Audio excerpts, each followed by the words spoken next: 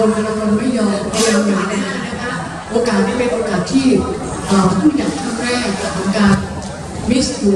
นะคะแล้วก็มีนักร้องมามากนักร้อง ที่มีชื่อเสียงนะคะ แล้วก็นักร้องที่ให้เกียรติมาร่วมงานในวันนี้นะคะขอบคุณมากๆเลยนะคะคุณท่านอาจารย์ขอบคุณนะพี่รองขอบคุณนะคุณลูกนะนะคะขอบคุณทุกท่านเลยนะคะขอบคุณค่ะขอบคุณค่ะทุกคนนะคะขอบคุณมากเลยนะคะค่ะได้ทำโดยสวัสดิภาพนะคะได้ทำโดยสวัสดิภาพค่ะ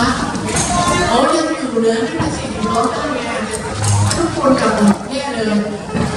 คนดนตรีของอาจารย์ตลกเลยนะคะค่ะแล้วก็อาอาจารย์รับเพิ่งเห็นหน้าวันนี้ค่ะโอ้โหคุณจีนะคะ